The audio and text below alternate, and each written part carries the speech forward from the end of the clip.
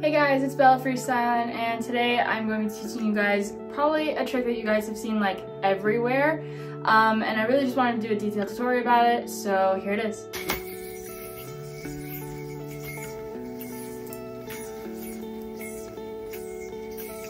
I know that it can be super hard sometimes for beginners because of the slacks and stuff involved, so I wanted to do a tutorial about it so that I can get all of you guys on board and get you guys learning this trick. So what you want to do to start is you want to throw a breakaway, land on a trapeze, and what you're first going to do is you're going to take your uh, non-throw hand, yeah, non-throw hand, you're going to turn it inwards. So you're going to take your pointer and just turn it inwards like this.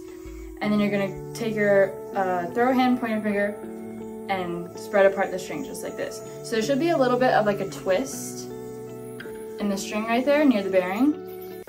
And that's what's going to make the triangle once you do the next step. So the next step is you're gonna, so you're gonna do like this, you're gonna curl in and you're gonna take that string and spread it apart.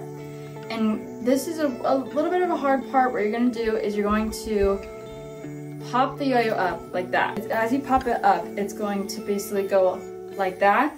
And at the highest point, let me see at the highest point right there, you're going to want to then let go of this string and grab this one.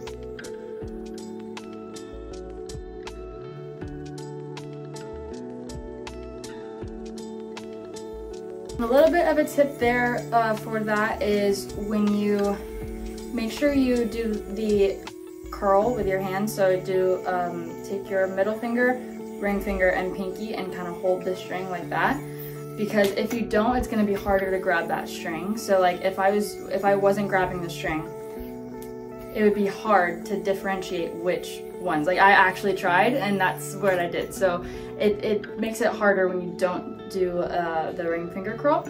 So I would definitely recommend like when you hit the trapeze, just make sure you grab that because then once you're here, you see all that space, that gives me enough space to grab it. Make sure that you also um, go kind of slowly. So you don't have to go like, you don't have to go like, you know, like you don't have to do it super quick.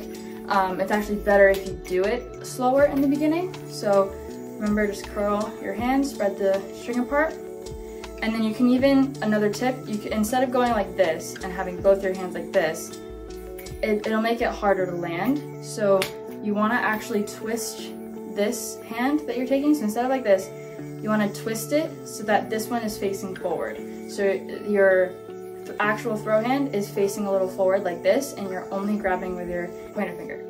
Because then that gives you space to almost like near your wrist, grab the string, and that gives you like definitely enough space to get the string so that like you're not kind of wobbling around. Okay, so once you get to the next step, so you're gonna be like this, okay? And then what you want to do is you're going to want to pop the yo-yo out from the back. So you see that the string, if you pop the, the yo-yo out from the back, that triangle is going to be gone. And you're actually going to want to bring it up behind the back and land in a triangle.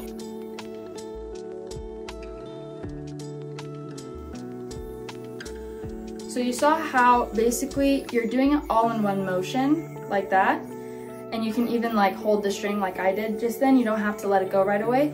You can just go like this. So it goes behind and to the front like that. And then once you know you landed it, then you can drop the string. And you can just practice that for a little while and just like practice getting it in, um, in one motion. So like instead of like, you can go like that and then do it and see, okay, that's how it works. Um, it's always better to know like the mechanics of a trick before you try and like do it a lot. So this next step, you're going to be in basically a ninja vanish. So once you've landed there, you are going, this is when you get this hand involved a little bit more. Pointer finger of your non-throw hand and your thumb of your non-throw hand. And you're gonna put them both in the string just like this. It's almost like a chopstick, if I were to describe it. It's like when you do a chopstick like that and it lands on that string. You're gonna wanna do the same thing, but you're just gonna grab the string instead of the yo-yo landing in there. I go like this, and once you have these two fingers in there, you're basically gonna grab that string and pull it forward, like this, okay? And you see how a Ninja Vanish pops out the front? So what you're gonna do is, so once you go like this, grab that string, and the string that is in front of you, just like this, the one that is touching your uh, pointer finger of your non-throw hand, you're gonna wanna hop the yo-yo onto that string and let go.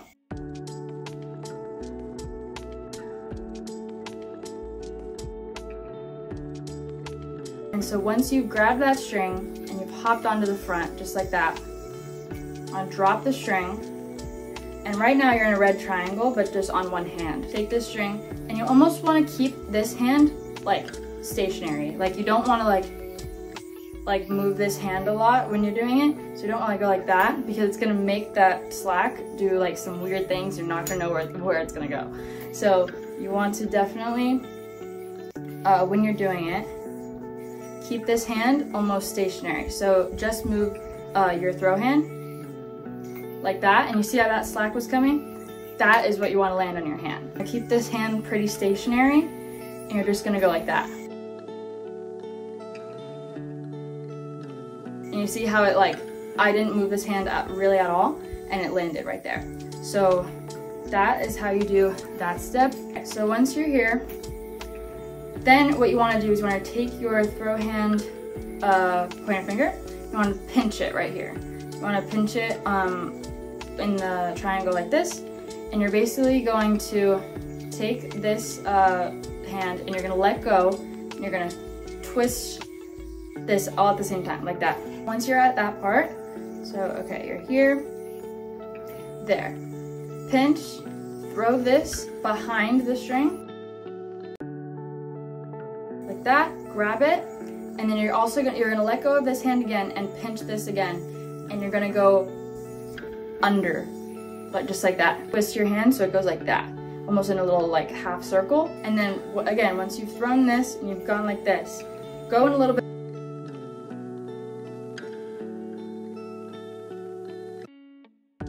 Okay, so you guys are almost done. Literally, it's just one more slack slide. Again, Swing this behind the strings and twist your hand.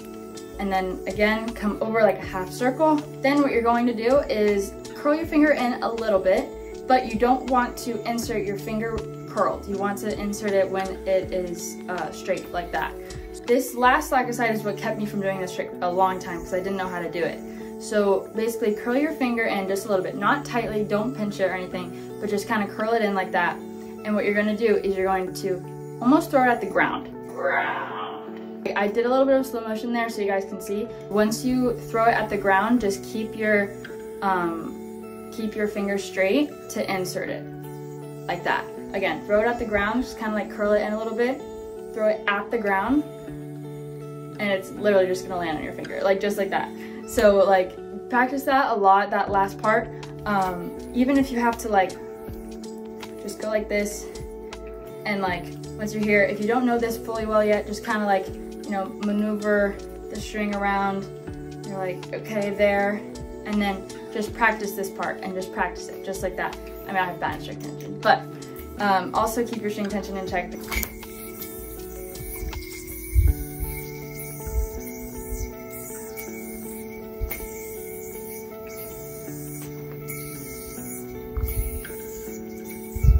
And there you guys go. So that is how to do probably one of the most popular tricks that I know other than like the DNA and stuff like that. That is a really flashy, slacky trick, cool thing to do uh, for people out in public and stuff like that.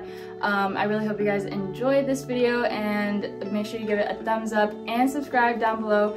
Uh, tell me what else you guys want to see in the comments and stuff like that. Today I used my signature colorway of the shutter, um, like I said earlier, and Knot Bad string. You can get this all in the link in the description box below. Uh, you can also get all of my social medias down there if you guys aren't following me already. I have an Instagram and a TikTok. Um, but yeah, keep freestyling. Peace.